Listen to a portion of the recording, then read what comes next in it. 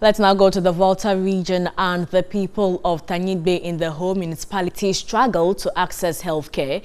A 40-year-old health center is in a dilapidated state and attempts to renovate it has not been successful due to inability to raise local resources. Robert Abilba reports the community will need external help to renovate the structure. Tanyigbe traditional area is located in the east of Ho, the Volta regional capital. Access to healthcare in Tanyigbe is a major challenge.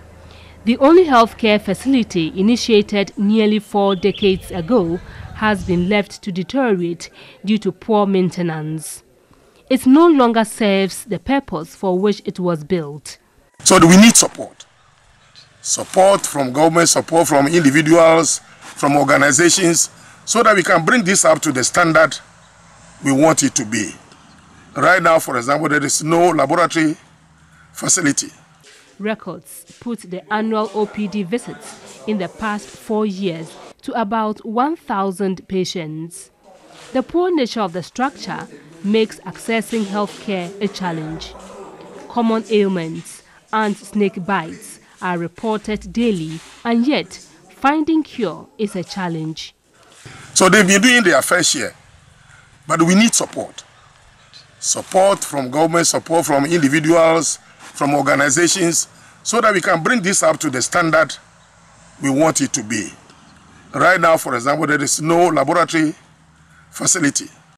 With the increasing population, particularly with the establishment of a senior high school, the lack of a functioning primary health care facility is a worry for many residents. Now we needed 359,000 cedis to complete this. The struggle to access health care prompted the people to once again mobilize resources to rehabilitate the health center. That venture was not successful. There is a lot of work to be done on this project to get it ready for the health workers to occupy. We have doctors and nurses here, but no room for them to treat patients. Residents are now finding uses to what is left of the facility. A nurses' bungalow now serves as a temporary treatment center for basic health care. This development is a worry to the community.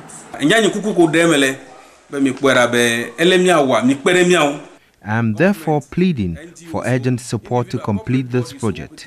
We look up to the government, NGOs, and other benefactors to step in. Our poor farmers have been taxed enough and they can do very little this time around.